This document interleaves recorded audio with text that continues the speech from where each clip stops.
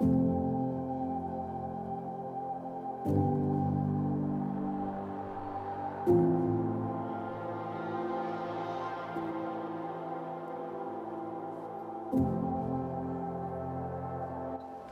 jo, jsem někde na jihu Česka, někde na jihu Moravy.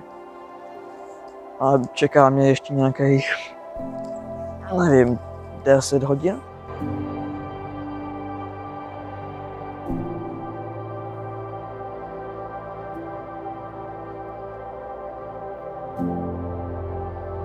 Dámy a pánové, mám tady update.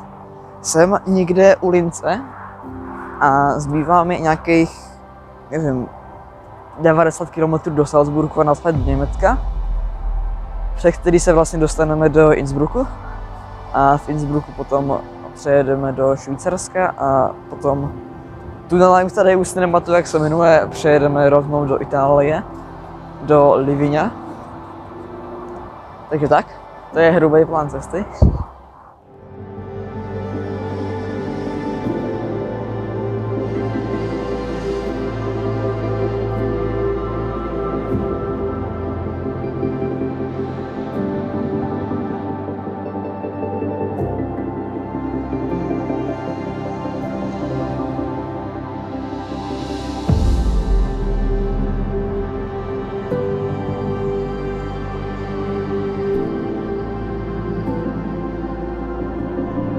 Tak jo, update po dalších dvou hodinách.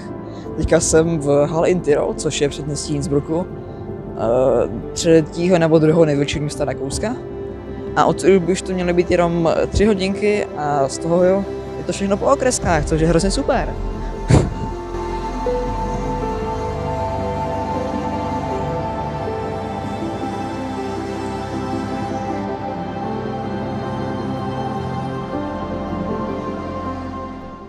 Dámy a pánové, vítejte pod vrcholem hory Číma Piázy a v předměstí Boromia jménem Izolácie. Toto bude dějiště mé letošní jarní dovolené. Budu tady čtyři dny, dva z toho Boromiu a dva z toho budu u Livigno. Takže vítejte u vlogu, který tady to moje jarní dobrodružství dokumentuje.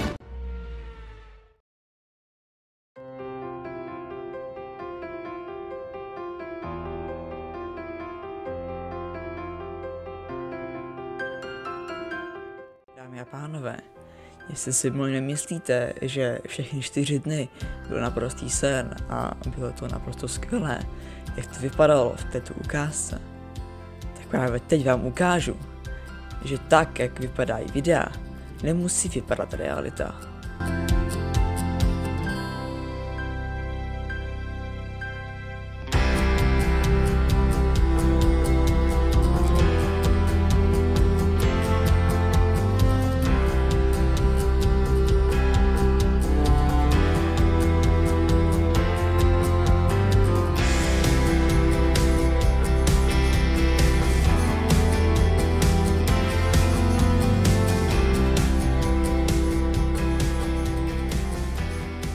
Tak jo, vítá vás Philips Editu vlastně já a chtěl bych vám teďka říct nějaké moje pocity v podstatě k tomu, jak se to celý povedlo a jaký to vlastně bylo, protože v Brně byly jarní prázdniny, úplně ten poslední termín jarních prázdnin, který v Česku je.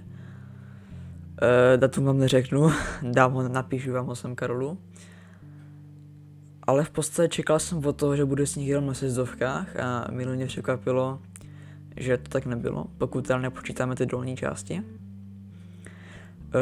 co mě ovšem zklamalo, tak to byl ten druhý den, což byla jednak mnoha jako kráva. Reálně občas nebylo vidět ani jako na špičky lyží pomalu.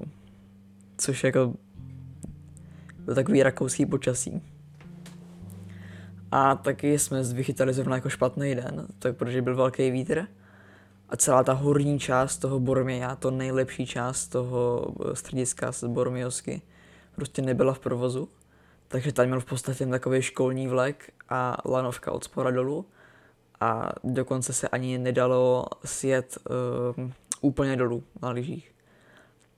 Takže, takže prostě jezdil krátký úsek v podstatě pro jako školní sjezdovka, bych to řekl. A dolů prostě lanovkou, no. To mě trochu zklamalo. No ale co jsem potom byl teda jako překvapený, tak uh, ostatní dny, jak ten první den, kdy jsme byli na Číma Piazzi, tak potom ty další dny, co jsme byli uh, v Livinu, tak jsem byl mile překvapený, protože Livině bylo celý pod sněhem a ten sníh byl jako ještě nebyl tak mokrý.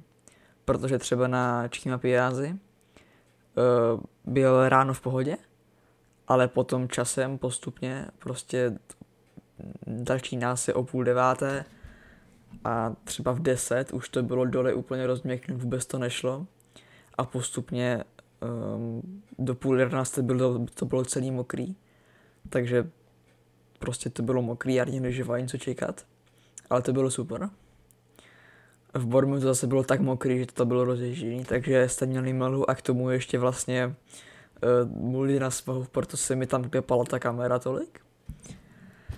No a v Livinu jakože je fajn, že bylo celý pod sněhem, jel jim v podstatě úplně celý ten areál, obě dvě, obě dvě eh, strany Livině, jak to Motolino, tak i to druhý Livině hlavní. No v podstatě Livinu jsou tři střediska, jedno je na té straně jak Bormio a na té straně směrem od Bormia v podstatě na západ. Uh, jsou dvě propojené střediska. Jméno vám neřeknu, ale někam vám se napíšu, sorry tak jako měli s ní všude, všechno jim fungovalo, ale prostě bylo to pomalu hnedka rozježděný. Takže prostě, když tam byl nějaký trochu průčí úsek, tak tam byl úplně vydřený ten led, úplně vydřený tam bylo od těch šatečníků, jak tam smíkali, od toho smíkali vlastně všichni potom, protože to prostě nešlo sedět normálně. Ale bylo to prostě vydřený i na úsecích, kde se prostě ne- ne- nesmíká, tam byl prostě rovný úsek, prů, normální krásný skor a prostě to bylo prostě to bylo jako sedřený a muldovatý a na konci to pořádně nešlo. E, potom jedna věc, kterou mě jako Livně trochu překvapilo a čekal jsem, že to bude mnohem lepší. E, a to jsou v podstatě nápor lidí.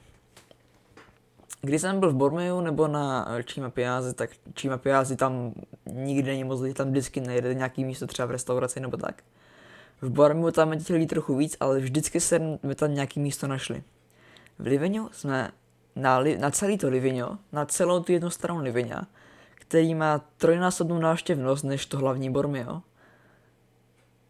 byl prostě dvě restaurace. No dobře, dvě velký, ale třeba potom a tři úplně pidi. A v Bormiu je těch restaurací třeba pět. Takže to prostě jako nejde moc do sebe, přišlo mi, že prostě Borm, nebo, sorry, Livio není připravený na nápor takových lidí. Jako z hlediska lanovek ano, ale z hlediska tady tohle z toho mi přijde rozhodně ne. Takže to jsou moje pocity. Vím, když, když jsem před uh, tím rokem dělal vlastně do Bormia, tak jsem projížděl taky Livině, protože jsem měl stejnou trasou. A říkal jsem si, že to Livině musí být jako hrozně super. Jakože, not gonna lie, ono bylo super, ty lanovky byly skvělý, byly krásně moderní, mám z toho miliardu fototet prostě lanovek, protože prostě jsem geek na tyhle věci, tady vám cokoliv někam promítnu. Ty sezdovky taky byly dobrý, nebo dobrý, byly skvělý, pokud by nebyl tak rychle rozvěžení, ale to je prostě dobou a časem. No ale jako lidi, jako nebyl problém ani tak jako s frontama, ale prostě ty restaurace, to prostě sorry, ale nejde. A nebo když prostě na té sezdovce jde 50 lidí to nemůžeš se vyhnout.